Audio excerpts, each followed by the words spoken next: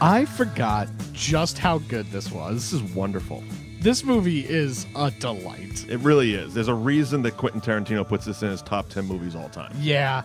You know, it's it's funny because it's it's always out on like right below the surface mm-hmm. of every like best movie discussion. Yep. But nobody ever brings it up because I think people forget about it. Right. But then somebody will say, because inevitably somebody goes, dazed and confused. Right. And then everybody goes, Yeah, man. Yeah. I love that movie. it was such a delight. It was such a delight. So, welcome into that movie show. Mike Wendt, Liam Stryker, Bill Neville. We are covering Dazed and Confused. And to pull back the curtain, fourth wall exposure here, Yeah. we are actually recording it on the 25th anniversary of its release. That's that is also delightful. that was a fun little uh, tidbit that I realized this morning when I woke up. It was it was kind of it was kind of fortuitous. It was. It, it- you see, it all plays out for a reason. We Right. couldn't do it last week because of one thing led to another, led to another, which led us to here on the Right. 25th anniversary of Dazed and Confused, which was released on September 24th, 1993. Wow. Uh, budget of 6.9 million took home a box office return of 8 million dollars uh, home video return came in around 30 million so it did, it did make its money back in home video Yeah. Um, it feels like that's the type of movie this would be. Well, it was so. What we'll get into a little bit uh, is Richard Linklater, who was the director, the writer. He created this movie. Right. Um, had such a hard time dealing with the studio. Yeah. Uh, it was his first studio movie. He was coming off huge, uh, huge festival acclaim for his 1990 independent film Slacker, which is basically like Slacker is, for lack of a better term, it's the original 90s independent film. yeah. Uh, it was the you know it's the one that everybody like Kevin Smith pointed to, you know Quentin Yeah. Tarantino pointed to. It's Right. like we want to be like Slacker. So Richard Linklater and Slacker kind of started that whole Miramax boom, basically. What became Miramax and all their Yeah. independent films was championed by that. Uh, but this was his first studio film. Uh, three years after Slacker, he uh, signed up for Dazed and Confused. He wrote it, he directed it, and uh, basically i got the uh the one i watched i have the criterion collection blu-ray Okay. of dazed and confused which has an hour long documentary Their Criterion is they do such a fantastic job uh he has a very in-depth very honest commentary track um the documentary was great a lot of behind the scenes stuff a lot of deleted scenes a lot of outtakes all that fun It's stuff like 25 minutes of deleted scenes. right? everyone's audition tape Oh, that's which cool. was awesome. Like McConaughey's audition tape, Ben Affleck's audition tape. You know, you're seeing cool. all of these things. So it was really, really, really cool. And it's a great addition. But it also, because it was done through Criterion and not released through Universal, there they get those honest moments. Like the whole fights between him and the studio. I just don't see them because they're not painted in a great light no. uh, but you get the honesty. Um, like basically, so uh, one, I, I think it's one sixth of the budget. For one sixth of that six point nine million dollars went to securing the licensing rights to the music. Yeah, okay. That that checks out. Uh, for example, and as he's opening up the DVD commentary track, right off the bat, he goes, "Okay, well, this song cost us hundred thousand dollars. Yeah. Aerosmith's Sweet Emotions cost them $100,000. Uh, Bob Dylan's Hurricane, $80,000, just to ballpark what kind of money they were spending. And there was a point in production where the studio was like, enough. We, we can't, because he had picked all the songs they wanted to use. Right. Um, right off the bat, Zeppelin wouldn't allow them to use their Well, songs. Zeppelin doesn't let people. I mean, it was it's very difficult, mostly because Plant and Page don't get along. right. Exactly. So it's almost like a spite thing. It is. And um, Jimmy Jimmy Page agreed to let him use because he wanted rock and roll as the closing credit song. right. And Jimmy Jimmy Page agreed, and then Robert Plant came back with a "fuck you," Yeah, of course. and he's like, "Man," and he like he wrote them letters, he sent them tapes. Yeah. He's like, "Look, here's how I would use it." I, you know, it's the movie's called Dazed and Confused. I mean, it's named after one of your fucking songs. Yeah, right. You know, Uh, it's also funny because Jack Black did the, a very similar thing for School of Rock. Mm-hmm. which was also Richard Linklater. Right. written and directed. Um, but yeah, and it was so difficult, and to the point that the studio was telling him, you know, you're going to have to start cutting songs. We can't, you know, we're spend we're spending too much money. So what he ended up doing, in order to get the songs he wanted, because these ones were available, they could afford them. Right. He um he took he basically foregoed any residuals off the soundtrack.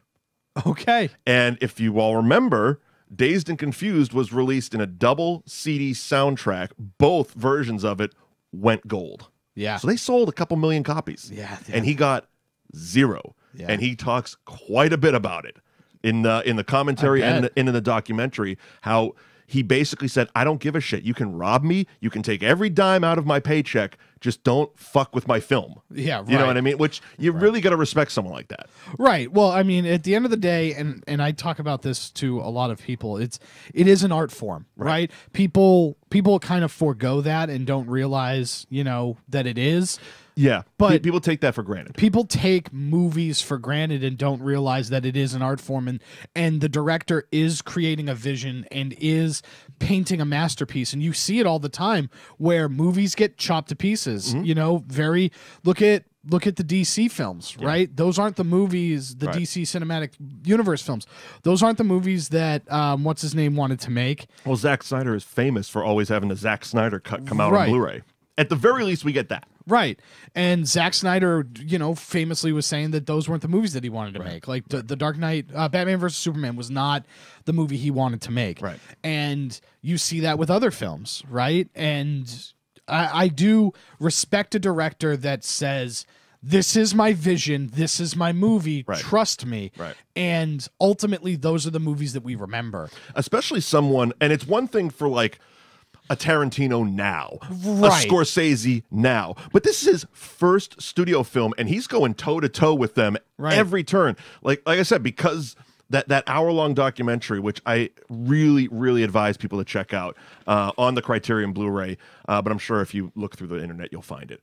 Um, the produce his producer was talking to him about literally having daily fights with him every time they Yeah. bro- every time they broke for lunch the producer would go up to him and go okay here's what we can't shoot the rest of the day and then they would get into fights over well we no we need that part uh, one of the famous ones that everybody seems to talk about because i think because it really resonated with especially people that played little league Right. is the the good games hand slapping so at, Okay. at the end of the little league game the kids are all crossing past both Yeah. teams a good game good game good game it's just a little thing that everybody who has ever played a, a little league Right. sport did Right.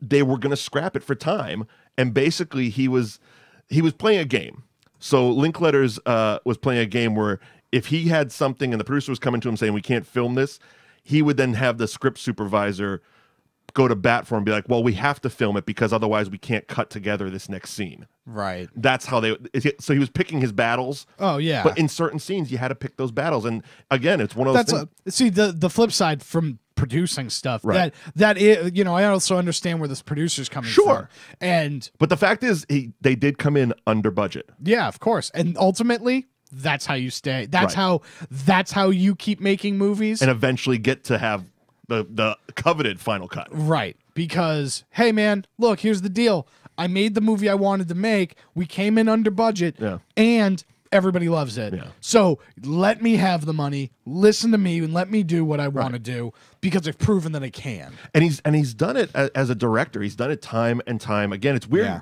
looking because right before I came over here, I was watching. Uh, it's on. Uh, what the hell? It's on the Roku channel actually. okay Uh, so so I, I have a Roku, and on that channel they show TV shows and movies and stuff like that. And there's a documentary called 21 Years with Richard Linklater, and it's all it's basically all the people from his movies talking about him over time. I think it was made like two years ago, Okay. and one of the one of the cool things about it is I didn't realize how diverse his filmography really is. You know, from Slacker to Dazed and Confused, before the whole Before Sunrise, the the the, the trilogy, right? yeah the before trilogy Yeah. So he did Before Sunrise, Before Sunset came later, and then what was the third? Before Midnight. Before Midnight, correct. Uh, Suburbia, The Newton Boys, I completely forgot Yeah. was his movie. Uh, School of Rock, you mentioned. Bad News Bears. He also did Fast Food Nation. Fast Food Nation. Uh, Bernie with Jack Black, which is one of the few. It's weird because I've said many times I don't like Jack Black as a leading actor. Yeah. I like him as a supporting actor. Right. But he works in these movies. Right, he does. He works, and, and I, I, it has to be who's ever giving him the words to say. Right. You know, who the Well- writer, the director, all that Well, because very- I love School. Mm-hmm. of Rock, and I would agree. I would agree that I'm like I don't like Jack Black as a leading actor, but Right. then I'm like, no, But this is a good movie. this is a good movie. It's, it's, it's not a rule. It's just like generalization. Right? You know what I mean? Uh, he did Spy Kids too. he he didn't direct that. Rodriguez did that one. Yeah, he was. Um, he did. Was he on it?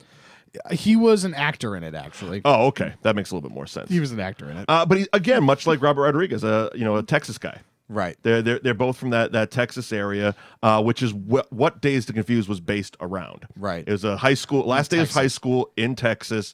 But watching it again, and especially looking back on it now with my adult eyes, Right. it's probably one of the most honest depictions of Yes. how high school life really is. Right. Like last week, we talked about Fast Times at Ridgemont High. Right. While it's a fun movie, Fast Times is a classic, no question about it. Well, right. It's a very inaccurate description of what high school life Well, it's like. funny because I talked about it. I talked about it when we talked when we did the movie last Mm-hmm. week, right? I saw Fast Times at Ridgemont High in high school. Right. I didn't relate to it and I didn't like it. There was a lot of fucking for high school. Right, right. And I and I you know, now that I I watched Dazed and Confused again, Right. And you say that, that's exactly what it is.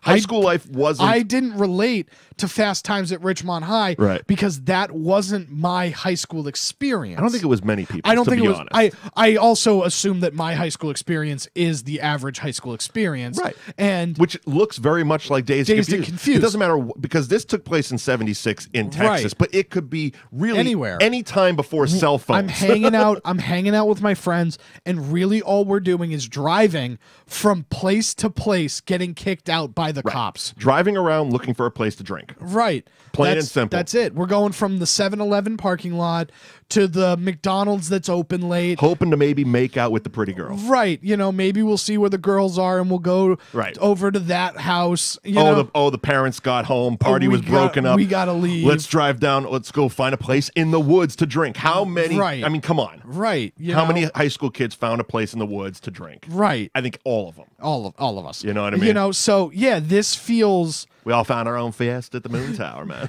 yeah. God, that tickles me every time. it's you know, Him saying fiesta just fucking he- tickles me. Like him in this movie just tickles me. so okay, so and McConaughey's something I really want to get into. Um, Of course. So this so it's so amazing to to listen to how he not only got it, how he got the role. Okay, so let's start there. So uh, Don Phillips, who we talked about last week, Yep. is the casting director of Fast Times at Ridgemont High. Now he's casting Dazed and Confused. Uh, they're posted up in Texas. They're doing, they're starting the filming. They're doing the casting, all this stuff. And McConaughey has a friend who's bartending at the Hyatt in Austin Okay. calls him, says the dude that's producing the movie is down here. You should come down. He was in film school at the time. Okay, yeah. Goes down, posts up at the bar right next to him, and just bullshits with him all night. They don't talk movies. They don't Yeah. talk about film school. They talk about football. They Yeah, talk about booze. else. They just Everything he relates else. to him as a guy. And finally, at the end of the night, they're they're getting kicked out of the bar. Bar's closing down. He's like, "Oh, come back to my. Let's go back to my hotel room." And they go back. They grab a bottle. They go back and they keep talking, keep talking, keep hanging out. The next day, he's like, "All right, come on in, come on in and audition for it." This was Matthew McConaughey's first movie ever. Yes. Uh, and it's also become his most iconic. I dare I say. Well, this like we've talked about it with Denzel Washington and Al Pacino. Yep. This sets the tone for McConaughey.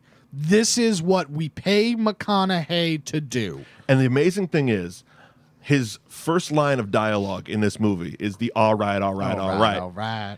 A, it was improvised by McConaughey. Yeah. B, it's literally become his catchphrase. It is. His first ever line of professional acting dialogue has followed him. He said it in his fucking Oscar speech. He did. You know what I mean? Yeah. Um. So, so okay, my McConaughey story. I teased it last week. Oh yeah. So, and it involves the "all right, all right, all right" line. So, uh, I'm I'm working on Ghost of Girlfriend's Past. yes.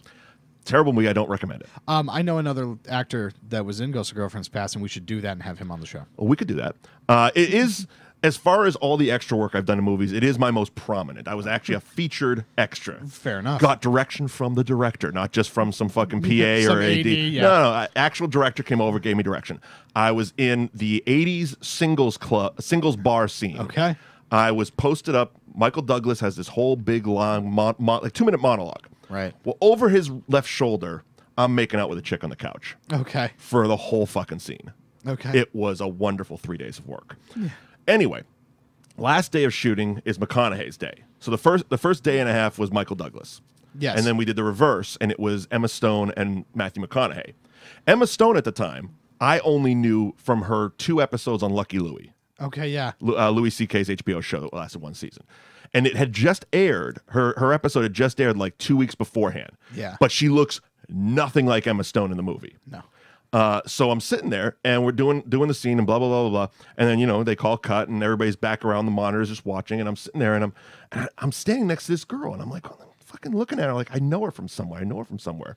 And f- so okay, during the lunch break, I go and grab my cell phone and I start fucking trying to Google who the hell she is. Right. And I'm like, oh, okay, Lucky Louie. Okay, so go back, working, working, you know, doing playback, and I just go, just kind of do the. By the way, loved your episode on Lucky Louie. And she, oh, thank you. Mind, mind you, she, this turned out to be Emma fucking Stone. Yeah, right. Yeah, At yeah, the yeah. time, it was nothing. It was that and Superbad. right. And so I'm like, I, and I, I don't think I had even seen Superbad at the time. Right. So that was my Emma Stone thing, but then McConaughey's day Yeah. and it was like you knew it was because you get we get down to the set it was being held in um it was the club that was called saint and then it turned into storyville and, it, Okay, and it- yeah. it, might be something else now Storyville's the dumbest name for a bar. I don't know if, if, if it's still Storyville or not. Yeah. Anyway, they, they basically their downstairs bar area had basically like crushed red velvet walls. Yes. It looked so 80s swingers club. Yes. So it worked. And we go downstairs to this to the downstairs bar, and I'm just like, I'm just smelling weed. Yeah. And then behind this, all the lights are set up in the back of the bar, and out of this plume of smoke, almost like a fucking angel walking through, is Matthew McConaughey. I'm like, oh, it's a McConaughey day. All right. all right. So we- all right. All right. So we go through the day. Okay, so fast forward 12 hours and we're wrapped. And it's my last day. And I'm walking down the street. I was going towards Boylston to catch the train. Yep. And the line of, uh, of trailers is all lined up heading towards Boylston Street. And I'm just walking, my minding my own business, texting my cousin who's a huge McConaughey fan. And door swings open and he steps out and starts keeping pace with me. yeah. And I'm just like, I'm like, well, I'm done. I don't fuck it. I'm, I'm, Yeah, I'm breaking that rule where you don't yeah. talk to actors. Well, because yeah, that's the thing. If you're an extra in a movie, do not, do not, do especially not. fanboy it. Yes. Like I felt okay because I didn't even know Emma Stone was Emma Stone. right. I, I just thought she was a, Well- a lucky chick who caught a break up from Lucky Louie. Right. Well, the other thing too is is that that level's fine. Right. Like I hung- Like I wasn't gonna go up to say shit to Michael Douglas, right. and he didn't look like he wanted anybody to say shit to him. right exactly exactly you know what i mean like you don't don't go up and talk to the Right. stars of the movie It's just an unwritten. It's an unwritten rule because they're working, you're working. be a professional Be a right? professional. yeah so that's that's the, what the unwritten rule he's talking but about at this point, I'm like, and and I wasn't gonna fanboy out, so I kind of did a casual, you know. It sounds douchey now, but I turned to him as he's keeping pace with me because we. I took a couple steps. I didn't know if he was just going to veer off or something. yeah right So after a few steps, I turn to him. I go, "Hey, man, good working with you today." He goes, "All right, man." And he and he kind of looks me up and down. And I, at the time, I was into cowboy boots. I wore a Yeah. lot of cowboy boots. And he looks down at me and he goes, "Those boots, man, they wardrobes." I go, "No, they're mine." He goes, "All right, man." And that was our interaction because at that moment, all the female extras spotted him and just mob the shit out of him. And I just because you heard the screams, right oh my god! And I just turned and I go, good luck. See you later, man. And I'm like, and I, I, I just keep my keep my cool, keep my cool. I get around the corner on the Balls. I'm like, that was the fucking coolest thing ever. yeah right, right. like that was my McConaughey moment. that's pretty cool Um, but he is that guy, Right. Like he is Wooderson. yeah And and the funny thing is, he based the character on his older brother, yeah i've heard Um, that Rooster McConaughey. Yeah. Swear to God, that's his fucking name. so basic He might have the coolest family alive. yeah he's a Um, pretty cool guy He really is. And and and listening to him break down the character, how he came up with that all right, all right, all right line yeah is interesting. Do you know it? i i remember hearing it but i don't remember go ahead So he's he's breaking down the character because he wasn't supposed to have a big role. Wooderson was a very tertiary character Yeah. until McConaughey showed up on set. Yeah And then it was like Linklater was like, all right, we there was two things that caused him to have a bigger role. One was he's just McConaughey. It's oh, he showed up on set looking the way he did, being as cool as fucking shit. And Linklater was like, all right, we got to give this guy some lines because he really didn't have any lines. Right. He had a couple here and there at the Emporium, but it was like, let's just get, let's get him in there. Yeah. keep him going. The second thing that happened was um, Shawn Andrews, who played Pickford, okay and Jason London, who was Randall Pink Floyd, hated each other. Oh. Despite playing best friends, hated each other Linklater had to break them up. They were fist fighting. okay So if you watch it back knowing that knowledge, while they're playing best friends, they almost have no actual interaction with each other. Yeah. And a lot of um, Shawn Andrews' scenes were cut and replaced with Matthew McConaughey because of that. Right. Because he couldn't work with Jason London, so they brought in McConaughey and just put him in there. So if you always notice, Pickford's always kind of driving off yeah. and leaving them to kind of hang out and have the meat of the scene. right. Um, so he's t- he's breaking down the character and he's like, all right, well, this guy's into what what what's he into? He's he's into uh, smoking weed, rock and roll, pussy, and his car. Yeah. Well, three out of four ain't bad. I'm gonna go get the fourth one. All right, all right, all right. And as he's pulling up to the redhead in the car at the at the top notch Yeah. burger, and I'm like, that is the most scientific breakdown of the dumbest fucking line ever. right. Right. Wade, rock and roll, my car, and pussy, man. I'm going to get number four. Yeah. like this guy is wonderful. Yeah. Uh, it's just it it just shows you just how cool somebody can be in Yeah. a room. Exactly. And yeah, he crushes it. And it is those little things. It is, and and you could tell. I mean, watching this movie back, you could tell everybody. I mean, besides obviously you know Pickford and Pink, a lot of the people Yeah. really enjoyed each other. But much also like high school, there was a lot of cliques forming because basically you had L.A. and New York actors occupying a hotel in Austin, Texas, Yeah, East for Coast- about a month, East Coast, West Coast. and it was like, what do you do? I mean, Yeah. McConaughey Well- would take them on daily floats down the river. Yeah. Like every one of them in the documentary is like, yeah, that time McConaughey took me down the river was fucking weird. yeah, right. Well, and I, like, I'm from New York City, man. I don't get that. Yeah, and so I um I have had the fortunate opportunity of being on TV shows and movies as a as an actor. Yeah. right? And so I've been a part of something stuff like this. Obviously nothing as successful as this. Right. But Because you're sitting here with me. because I'm sitting here doing that movie show with you. Right. but uh I've been in these type of situations and it's like summer camp, man. It really is. And that's the best way to describe it because you're all in this enclosed environment. You can't go anywhere and you're just with the same people for hours on end. Yep. And relationships start forming and clicks start forming uh, with people. And, you know, it's like, yeah, you're going to start dating this girl because you're literally the only two here. Literally, Shawn Andrews and uh, what was her name? Milla Jovovich Right. got married. They ran off and eloped to Vegas in the middle of filming. Right. I mean, granted, she was 16. Her parents annulled it, but but That that's, happened. That's the thing. It's like this is never going to work outside of Right. this, but we're going to think it does. we think it does because it's a magical time. We're all in our 20s. You know, it's like look at how You many know? people, and it happens all the time. Because if you think I'm lying, look at how many times two actors start playing romantic love interests in a movie, Mm-hmm. and then you find out by the end of it they're dating, and then Go watch the movie True Romance. right, They're- That's some of the most real on-screen fucking I've seen in a while. yeah, and then you look at it and it's like, oh, these two people broke up after three months of this Right. movie, and it's like, oh, because as in, when you're in the real world, this doesn't work, Right. That's why, That's why. That's it's why. fun while we realize, oh, we just got a month Yeah. of each other. right, Uh, not the rest of our fucking lives. yeah, right, and so Um, but yeah, it was even to the point that um, like Joey Lauren Adams and Parker Posey became like instant best friends. Yeah. And there there came a point where they realized we don't have any actual scenes together. Like we're in scenes, just not together. Like we're not talking. right. Linklater let them write a fucking scene. Came back from lunch and again having a fight with the producers. He's like, no, no, no, we need this for this, this, this. It it was a fucking throwaway scene of the Yeah. two of them drunkenly talking about uh, Joey Lauren Adams' mom roller skating or going to a singles roller skating Okay, thing. yeah, yeah, yeah. It's actually in the deleted scenes. All the outtakes Okay. and, and the scene itself are there. And and he talks about he's like he's like yeah I let them write their scene and they were great in it and it's like it actually made a few test screening cuts That's fine. and then it was like nah the movie's a little too long Yeah, we got to get rid of it. The pacing. Yeah, Yeah. makes sense. uh, but a lot of that. Um, a fun fun thing about it is uh, Renee Zellweger Okay. was up for for uh, one of the roles, as one of the girls' roles, and she was going through a lot of the rounds of auditions. To the but I know oh she was up for uh, Parker Posey's role, Okay. and then Parker Posey came in and just blew everybody away. Yeah. with with her you know interpretation of Darla, but they loved Renee Zellweger so much that she's almost like uh, there's a famous story from The Godfather Okay. uh, Joe Spinell, who did the fantastic, fantastic cult horror, horror movie called Maniac.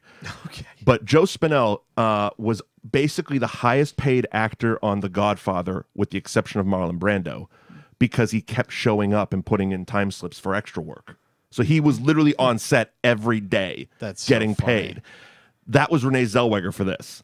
They just liked her so much they kept her around. The only time you can actually see her on camera is when it's um it's uh it's Pink, it's Wooderson, it's uh Mitch and uh Don. So they're all standing outside the Emporium. It's the the high school girl line that McConaughey does. Yeah. She's the blonde that walks past him. Okay. And that's where he gets the I get older, they stay the same age. Yes, they do. Yeah. and that was her. That's the only time she was on set, like throughout the whole thing, staying with them in the hotel. She's in some of the documentary, just in the background, just kind of hanging out. Um, another another famous name that a lot of people auditioned for this. Uh, Yeah. Ashley Judd was uh, again high in the running. Okay. Um, Vince Vaughn was auditioning for what ended up being Cole Hauser's role. okay. The reason he didn't get it, he actually uh, Linklater said he did better in the audition than Cole, but um, he looked too much like Ben Affleck Yeah. and they had already committed Ben Affleck to O'Bannion. Like he, he's our O'Bannion. We can't have the, Yeah. these guys just look like brothers. Yeah. Which, funnily enough, the combination of Ben Affleck and Cole Hauser led to Goodwill Hunting, School Ties. Go listen to our Goodwill Hunting episode because his his character is Cole Hauser's character is my favorite thing ever. yeah. It's in the archives at newageinsiders.com. But should we get into the movie? Uh, yeah. We've been talking about the production because I found it so fascinating. Well, I digging mean, into this. The, this is the best part is you know especially because like you know if you want to actually see the breakdown of the movie go watch the movie right exactly. right so it's very simple. it's very simple We start out literally last period, last Right. day of school, May 28th, 1976, I believe it Yep. was, 1.56 p.m. Yeah. He even put the time, he Yeah. said, which he uh, he said was an homage to Hitchcock. Hitchcock always put the time and day on there for Yes. some reason.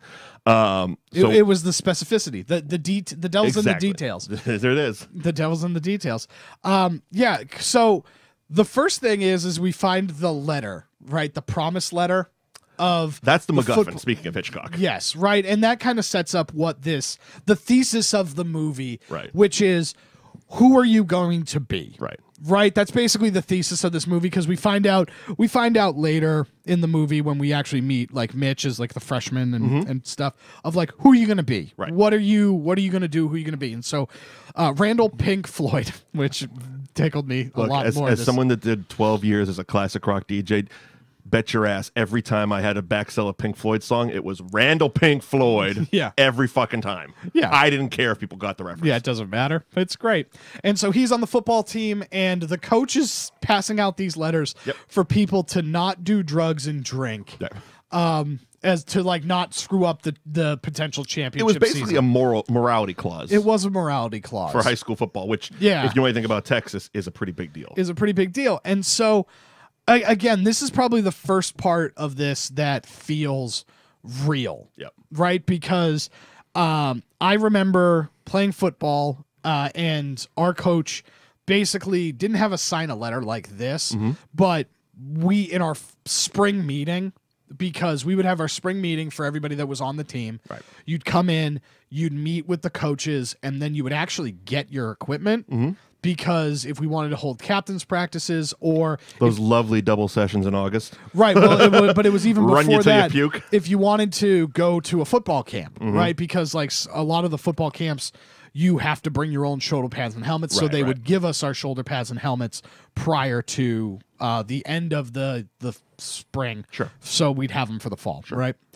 Uh, then and so it felt like a lot like that. The coach was kind of a hard ass. Mm-hmm. There was the there was the like assistant coach The likable assistant coach. that was like buddy buddy with everybody, Yeah. and so it was like, yeah, man, yeah, I I know, you relate completely. yeah. Again, you didn't have to go to school in Texas in the 70s no, to get this movie. No, and it was just like, oh man, I remember, I remember having these things.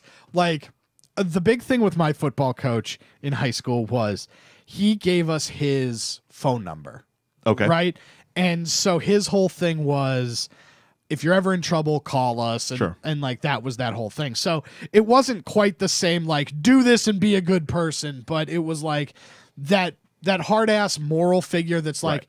I'm gonna begrudgingly be there for you. Try not to embarrass the school or me. Yeah, right, right. And so, yeah, it was super it was super relatable, Right. at least in that end. Mm-hmm. But the whole thing is is who does Pink think who does he want to be? Right. Because he doesn't know if he wants to follow this morality clause and play football or live his life the way he wants to live. As he's talking with Don as they're walking through the school, he's like, "We could get as much pussy in the, if we were in a band as we could for football, you know, and stuff like Right. that." He also, I mean, Pink is one of those those the through line characters because he has his his jock friends. Right. He also has his intellectual friends, Right. Which we find uh, Tony, Mike, and Cynthia. yes. uh, who is played by uh, Anthony Rapp.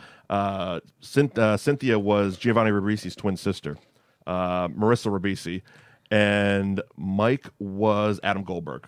Which, by the way, uh, fun fact, a nice recommendation here: Hebrew Hammer. Go check it out. Hebrew Hammer. The Hebrew I Hammer. haven't heard that in forever. I fucking loved that movie. oh, can we get a crossover with the Hebrew Hammer and Black Dynamite? I think we should. I think we absolutely should, and we could probably get Adam Goldberg on the show if it takes you know 15 rounds of calls, but we can do it. Yeah, we could definitely. I believe in us. I believe in Uh, us. so Let's we- write the movie too. it's exactly. We run into them, and everybody's just got. It's the last day of school. Yeah. There's no real assignments. There's no class. No. Everybody's just putting in token appearances here and there. Yeah, We see Benny in woodshop making his paddle. You Yeah. know, Oh, that's right. Slater's making a bong in woodshop. Yeah, that's so funny. He's like, "You're not getting a good draw, man. You gotta like." There's air the- getting in there, man." You gotta put like gum or something.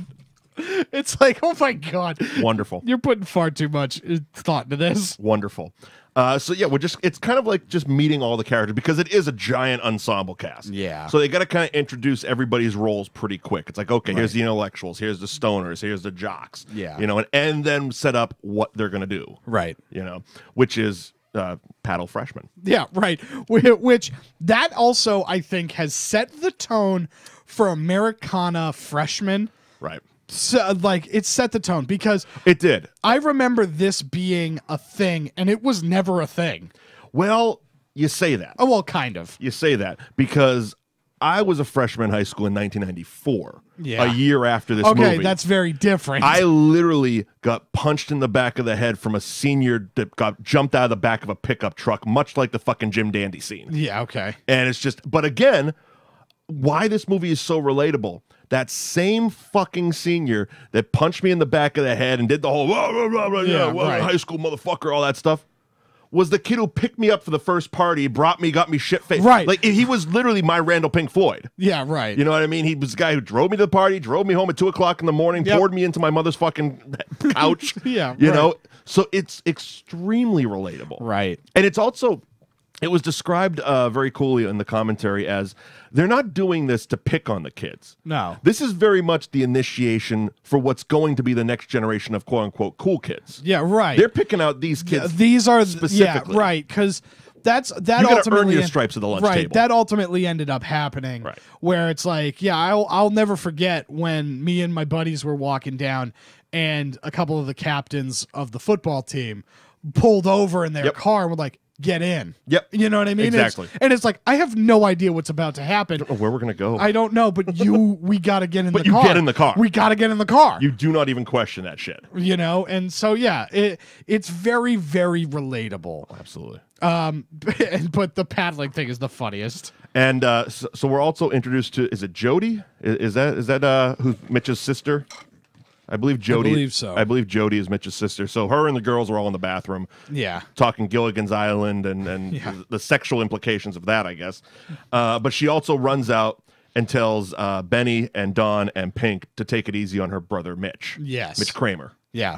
because he's a little he's a little guy and don't yeah, he's a little guy. so they're like, all right, we'll be fine with him. And immediately he becomes target number one. Right, of we course. are fucking his world up. yeah, right. Uh, so they take off. Uh, they head to the junior high. They're just Right. skipping class. Doesn't again. Last day of school. Yeah. This is you know shit like this. Just yeah. Go ahead. yeah. Ben Affleck finding the two freshmen, like Mitch's friends. Oh my god. Ben, ben Affleck was wonderful in this. Ben Affleck is wonderful, and I didn't realize it was Ben Affleck watching it the first time. That's too funny. And now watching it again, I'm like, holy shit, that's Ben Affleck. Yeah. I didn't even realize that he was in this movie. Before he got his teeth fixed. Yeah, he was all jacked up. but it was really funny because he grabs the two freshmen who's uh, Mitch's friends, and he's about to, he's just like, both grab a pole. And then the- one of their moms just shows up with a Yep. shotgun. Well, Oh, God, that was so very funny. Texas. So Texas. so goddamn Texas. It's just yeah, and w- again, watching it, it's very much because it is a day in the life. Yeah. it- but it's a very believable day in the life of Right. these students, and Uh. it's just they're going through, and oh yeah, I got to head home and change and stuff like that. Yeah. Luckily, those were the lucky actors. Yeah. the ones that got to change, so they get a new wardrobe. right. Yeah. Right. you get the poor bastards that have to kind of sit in their same wardrobe for 36 days. Yeah. Right. Uh, God. You know they they kind of wash it. I guess. Kind of. It depends on how dirty it has to be. Yeah. Right. Um, so yeah, so the guy, the the male students from junior high heading Right. into become freshmen Right. are basically being chased around and tormented by these seniors left, Yeah. right, and center. They're they're being run down in the streets. yep. The girls are all just kind of huddled up Yeah. into into backs of pickup trucks, brought to a school parking lot, Yeah. and humiliated. Yeah, for just- an afternoon. yeah, they're just like uh, just weird food being thrown on them. Oh yeah. Just nonsense. Every everything, eggs and flour and, and all kinds of weird Yeah. grains and stuff were just kind of being poured Yeah. on them and Yeah. mixed into them, and then they were put on leashes and, and baby pacifiers and forced to propose to seniors males who, of course, if you're going to be a, you know play, Right. playing a 17 year old, you're going to do blowjob humor, Yeah, right. and, that's what we get. clearly clearly that's what we get. Um the big the big part of the night is that there's going to be a keg party at a house At Pickford's, at Pickford's house where his parents are leaving. they're going away. Yeah. And in the most unfortunate of circumstances, yeah. the and also rookie move. Yep. Uh the keg guy shows up at the house while the parents are still there. Yeah. He completely fucking botches that whole thing. Yeah, he botched the whole I, got, I got a little bit of action happening I got to get to. So he was an hour early. yeah. So it wasn't on Pickford. Right. This was the the fucking beer guy showing up an hour early. yeah, right. Um, but it also causes the parent to obviously see through what the hell's going on. Yep. Cancel their trip, which I don't I don't know about that one. That Yeah. might be the only unbelievable part of this whole movie. Right. they're like, yeah, we're canceling our fucking trip. Yeah. See, the thing is, Where that- were you going that was so unimportant? Yeah, I do know that there are there were enough dad hardasses Yeah. that I knew in high school that would that would have done that. See, I think what would have happened, at least to, on my, my mother's standpoint, she would have had my aunt come, Come stay at the house. Yeah. Yeah. Yeah. Basically babysit the house. Yeah, So it doesn't burn down. But Pickford's gets canceled and uh, they got to find a new place to, to, to drink. do- to drink the kegs. They got to find a new place to drink. Um, so we also get a, uh, a fun little side story when they get to the Emporium and they find out that um, Milla Jovovich has now painted two statues to look like Kiss. yeah. Uh, there's a, another deleted scene uh, where they actually are stealing the statues from in front of a bank. Okay. And, and their bicentennial goes through a lot of this. Yeah. So they, were- they were kind of like a George Washington and the troops type of drummer Yeah, boy okay. statues. The original thing, this is uh, this is uh, according to Richard Linklater, probably the most autobiographical of all his movies. Uh, Okay, where yeah. it's the most like all these things come from real things. So in his school, they stole a McDonald's statue. Okay. McDonald's wouldn't allow the film to use Yeah. Um, in in their real life, it was a Sonic. Sonic Yeah, wouldn't let it, so they turned Top Notch, which was a local Austin, Texas And, burger and, joint. and what I found recently when I was doing research for this is that that's a real place. It is, And It- you can go there. It's a it's a real place in Austin, Texas. Had And, I known um, that when I went to Austin, Texas, I would have. see, you got, you got to Google these things. I do. I do. Um, he was he was really adamant about wanting them to drink Schlitz. okay. And and it's funny how he describes it because every you know when he was a kid everybody was drinking Schlitz. At the time it was the number one beer, believe that or not. And and Schlitz wouldn't allow it because because of the Underage implications. un, well yeah, they're underage, they're drinking and driving. There's a lot of that in the movie. Um, so Schlitz wouldn't allow it. And he basically said, he's like, I wrote them a letter being very honest. It's like, look, you used to be the number one beer. You're now number 16. yeah. Right. Why aren't you going to allow this movie to put you up- back on the map? Yeah. Right. Wouldn't do it. So they got just generic labels. Most of the beer, however, except for the underage kids, was real. Okay. So they were actually drinking. I mean, you know, as you do. Yeah, as you That's do. one of the things I always wonder, especially in movies like this where there's excessive amounts of drinking. It's like, how much near beer were you really drinking? Oh yeah. And they weren't, most of them. yeah. Most of them were just slugging back real beer. Um, yeah. Get those extras hammered. yeah, exactly. It's a little easier to work that way. So, are we at the Emporium yet? Yeah. We're at the Emporium. Okay, because uh, so, uh, the baseball game we kind of talked about. Yeah. Um, Wiley Wiggins, who plays Mitch, which also the greatest name ever. Yeah. Um, he was actually just found coming out of a like a burger burger shack in Austin. Really? Don Phillips saw him across the street, ran across the street, like, "Hey, want to be in a movie?" Yeah. Which I gotta imagine at that age, because he, him, and um, the lead girl, uh, Christin, who, Okay. who plays uh, uh, fuck, I can't forget. I can't remember her name at the moment. Um, yeah, I can't remember her name. Um, but she's the lead freshman girl. Yeah. the one that you know Jody befriends and takes with her. Right. Right. Uh, both of them were just kind of plucked out of obscurity and then had to go back to school after they finished. Yeah, it's so this was kind of their summer vacation. yeah, it was weird. Um, he had also Wiley had never thrown a baseball, Really? and so but he's the pitcher. Yeah. Now, obviously, they can trick some stunt stuff, uh, but g- again, God bless that documentary on the Blu-ray because it shows uh, it shows Richard Linklater trying to teach Wiley Wiggins how to throw a baseball. That's so funny. God bless that kid. He could not throw. It was horrific. I can it, it was the biggest, like limp-wristed type of throws. He just couldn't figure out how to throw a Yeah. ball. Yeah, right. And, and yeah, so they're like, all right, well, here's what we need. We need at least a close-up of you doing the wind-up. Right. Yeah. And they went through all these outtakes of him. He's like, just, just look mean for Christ's sakes. you Yeah, know? right. We don't need you to throw the ball. And I guess all the extras, being the actual little league team, were talking so much shit about him. of course. It's like, oh, I'm so fucking angry. That that's what the last take was. yeah. Right. Right. but that's where uh, that's where Mitch gets caught and paddled Right. by uh, And the scene that- Benny, um, Uh, everybody. everybody. and the, that's the scene that they parody in Family Guy. That's all I can see now. That is. That's all I see now. Every every time now Ben Affleck especially because it was that slow mo shot of Adam West in, in Yeah. Family Guy doing the Ben Affleck part, and it's like, yep, you have ruined it. It's yes. it's it's basically like uh, trying to watch Amy Schumer and not hearing South Park in my head. Yeah. Go ahead, save it, Jan. yeah. Right. I know. God damn it, Cartman. Fucking Damn it, Cartman. South Park's coming back this week actually. Today. The no, pro- it's Wednesday. Wednesday. The promo Wednesday. promo looks fantastic. Well, and then the the hashtag cancel cancel South South Park, funny as hell. But the the the video they released today, ooh, It's gonna be brutal. we're gonna touch on some subjects. it's gonna be brutal, and I can't wait. Um, but Pink obviously showing how much of a good guy he is. Yeah. Uh, because Mitch's friends all ditched him. Yeah. Because they don't want to get their asses paddled. yeah, yeah, they got the hell out of there, and so Pink basically grabs him and goes like, Come on, man. Let's give me a ride home. "Let's do this." And they have a little heart to heart, and he's kind of, you know, smartening him up to, to high school life. Yeah. Because Mitch is obviously pissed at O'Bannion because he's like the resident badass fucking Yeah. asshole bully. Yeah, And right. he's like, well, he's kind of a dick. He's like, yeah, well, he's kind of a dick, but he's a good guy to have blocking for you, I mean, football Yeah, and stuff right. like that. Um, fun. I always found it funny that O'Bannion, like, they set him up as the senior that flunked out just to be an asshole again. yeah, right. Because in my high school, we had like three guys that were seniors for like five years. Oh, jeez. They were those guys that's like, dude, you're like 20. Yeah. What are you doing? You're going to be forced out of this school. Yeah. And it's weird that you're dating high school girls, That is- even yeah. though you're in high school. Like that Yeah. type of old guy. Yeah, You know right. what I mean? Yeah, right. You shouldn't be here. Ooh, Not nice. even a little bit. So he drives Mitch home, tells him, all right, get, get change, put some ice on your ass, and we'll we'll pick you up and grab you some beers and blah, blah, blah. Yeah, blah. we're gonna do it. And we are introduced to Wooderson. Yes. Yep. Got a joint, man? Yeah. Right. Like, I could do McConaughey all fucking day. Like, I love him so much in this be movie. much cooler if you did. Be a lot cool if he did, man. Just like fuck, dude. Seeing this movie through Mitch's eyes is is quite interesting because he's experiencing all this for the first time.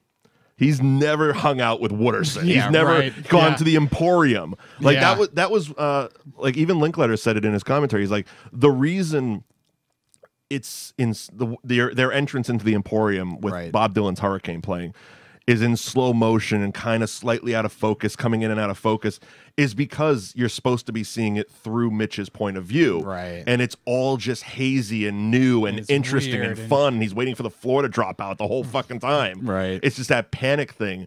Um, and something that a lot of people have brought up, especially to Wiley Wiggins when they talk about this movie, is his incessant need to keep grabbing and pinching his nose Okay, yeah. and is that scene where him and the actress's name is Christin. Oh, Sabrina. Sabrina was Okay. the, the other fre- the Yes. female fresh his counterpart. Yeah, yeah, yeah, yeah. Sabrina. So there's that scene outside the Emporium where they're having a chat about, oh, what are you doing here? What are you doing here? Oh, this, Yeah. isn't this cool? We're on the inside now. But Yeah. during that scene, he keeps pinching his forehead and pinching his his nose. Excuse me.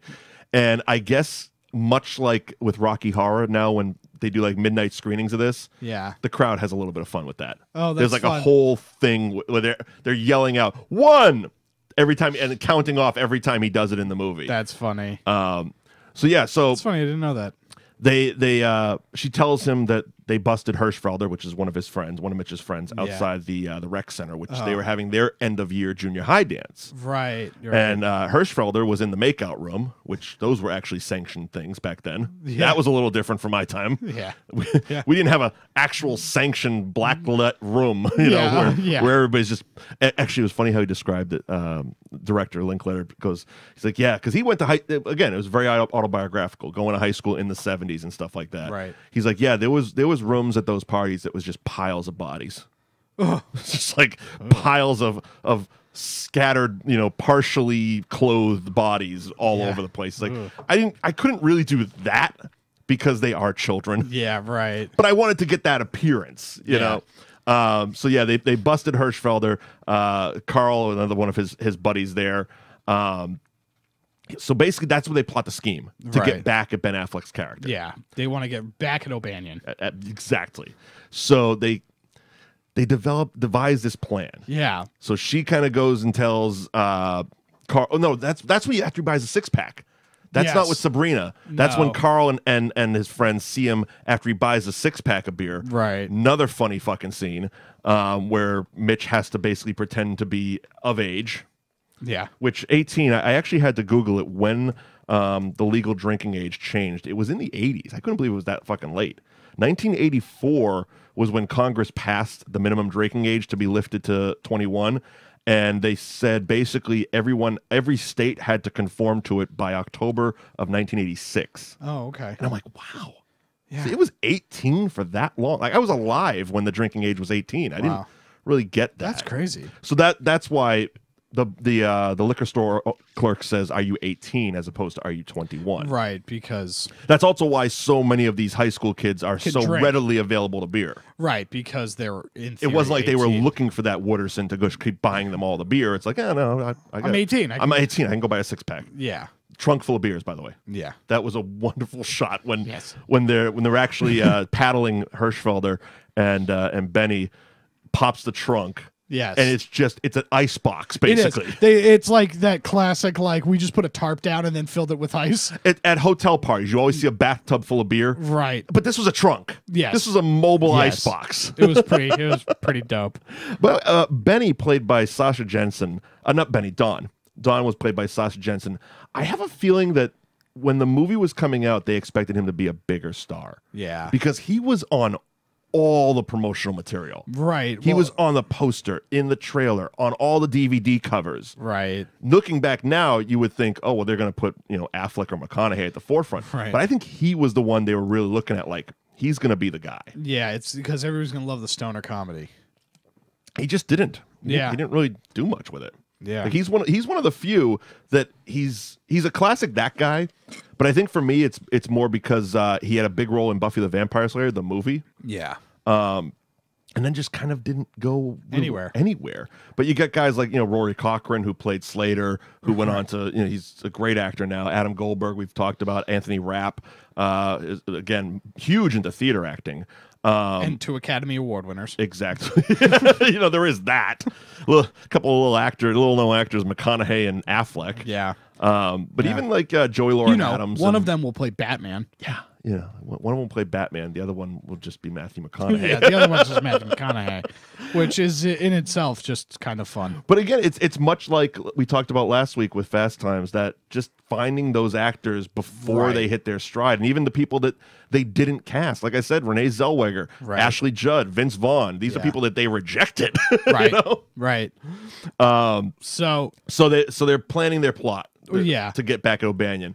Um, fun part about this that I realized uh, when I watched this wasn't the first time I watched it at uh, with my surround system. Okay. I had done it once before, but once I watched it for the first time with you know full surround sound, I got the seven speakers, the subwoofer, all that. right.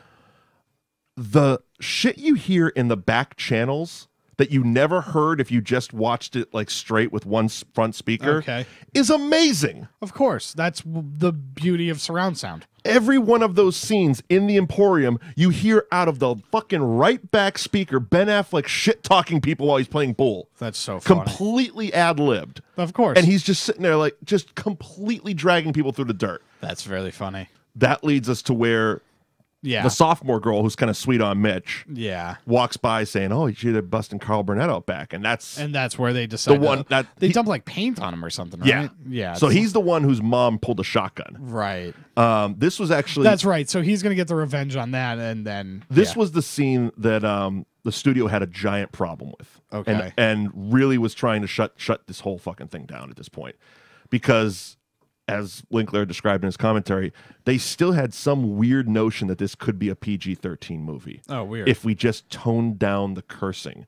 And then they got the dailies back, and Affleck's calling him a cocksucker and a motherfucker and fuck your mom. She's a cunt. I mean, he was going off the rails and, Yeah, and all these outtakes. Of course. And they're like, we sent you a note yesterday to curb the swearing, and then you send us this? yeah, right. And he's like, yeah, but we're doing drugs and, and Yeah. drinking and driving. There's no way this is not an R rated movie. Right, of course.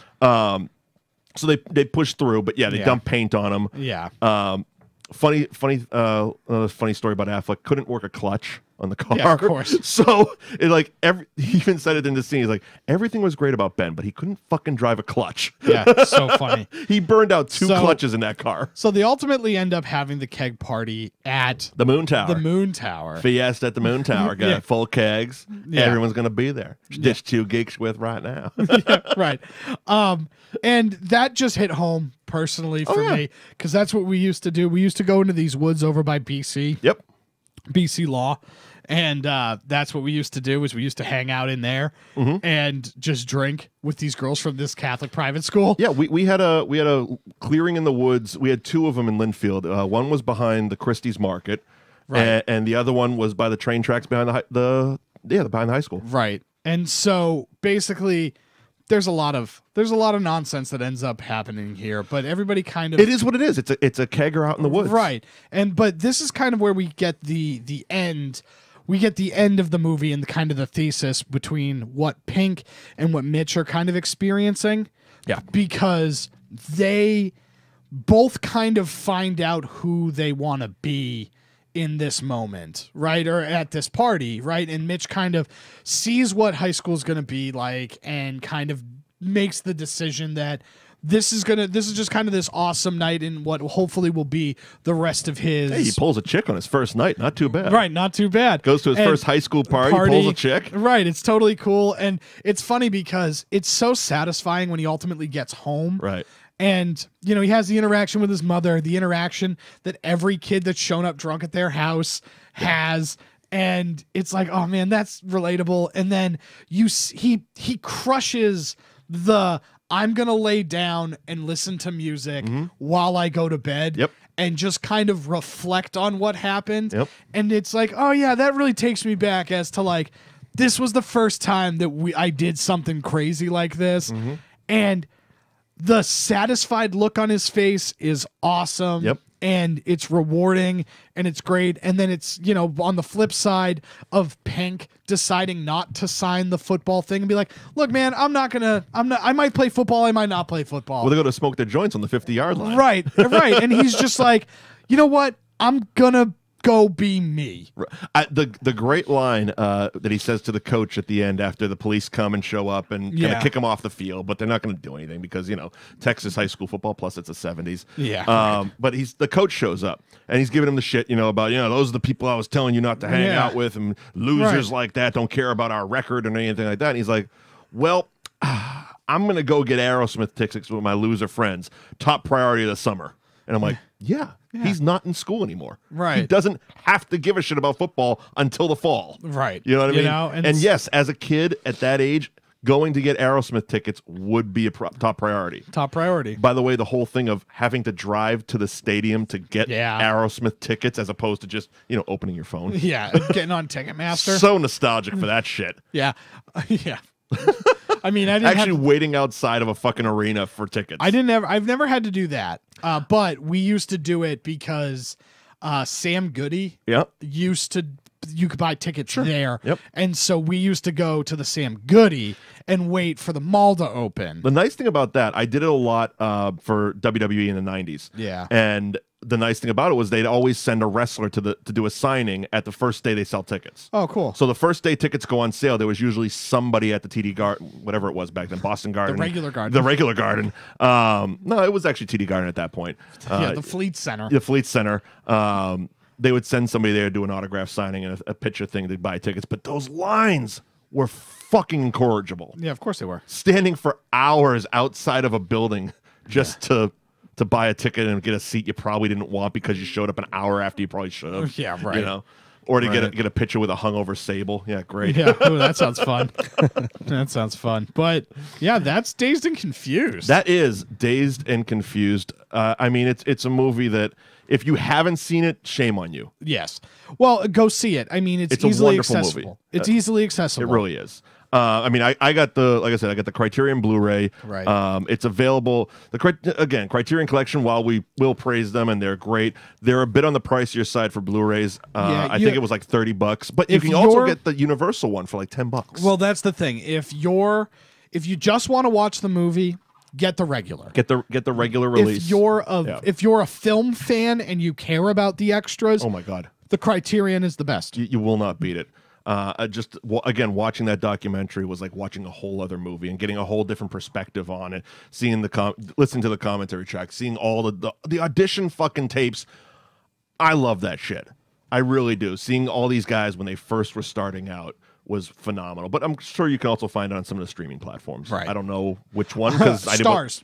Uh, The Starz, Starz. have it. Okay, so there you go. If you have Starz, uh, you can check it out there. Yeah. So Um, and that includes that includes Hulu. So if you have the Starz oh, add-on okay. to Hulu, Oh, cool. you can stream it through Hulu. I did not know that. All right, Yeah. all right, all right. All right, all right, all That right. is Dazed and Confused from 1993. Happy 25th anniversary Yeah. Dazed and Confused. Next week, oh, I've been I've been itching. I've been itching to Ooh, get my horror fix on, and October is upon us. Yes. And we are jumping in. October, baby. We have a full lineup of the greatest modern day classic horror monsters. Starting Yeah. it off with Jason Voorhees I love him. and the original Friday the 13th Yes. coming up next week. You you are going to want to enjoy this because what I'm going to do, um, because every October I do a there's a little there's an online uh, message board site called DVD Talk. Okay. That I it was like my th- first message board I ever signed up Ooh, for. fun. But every October is the only time I go to it now Okay. because they do 100 horror movies in 31 days and everybody kind of, you know, keeps their list of movies and they have giveaways and stuff. Oh, fun. Like I've won Blu-rays from them before. They sent me Basket Case and Prom Night on Blu-ray. Ooh, because interesting. just random drawings, I guess. But since we're doing this each week, I'm going to not only watch the movie we're covering, but all the movies in that series. Oh, very fun. It's uh, going to be an endeavor because That most is of gonna them be an endeavor. span nine to eleven movies. Uh, but yeah, so next week when we cover Friday the Thirteenth, it will be Friday the Thirteenth and then some on that movie show. Thank you for joining us, Mike Wendt, Liam Stryker, Bill Neville. You can follow us all on the Twitter and every other social media. You can find our audio and video archives at newageinsiders.com and be sure to hit the subscribe button on your favorite podcast to New Age Insiders Pop. See you next week. Bye, everybody.